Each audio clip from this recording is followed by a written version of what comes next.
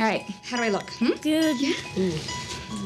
I love you. Mm. Don't tell him any more Lobster Man stories. He had nightmares all week. He hears this horrible sound. Snap.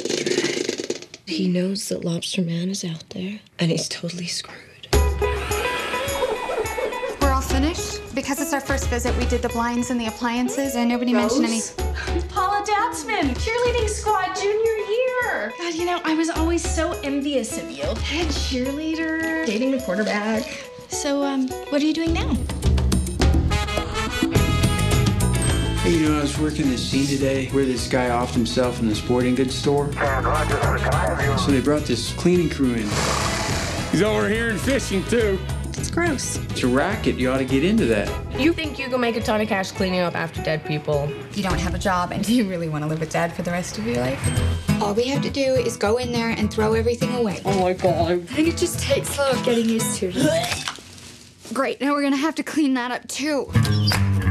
We took all that stuff away. We made it better. The girls have gone into their own business. Sunshine cleaning. Since 1963, It gives us a sense of stability. People like that.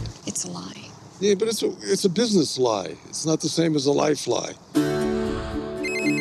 Hi, Mac, it's me. What are you calling here for? He's never gonna leave her.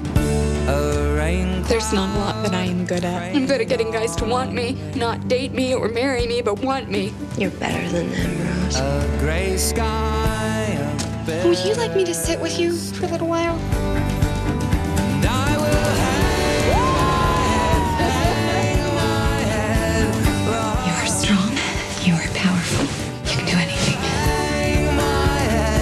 I don't need you to take care of me anymore. It's not your job. It never was.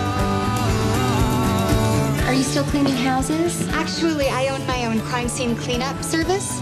We come into people's lives when they have experienced something profound and sad, and we help.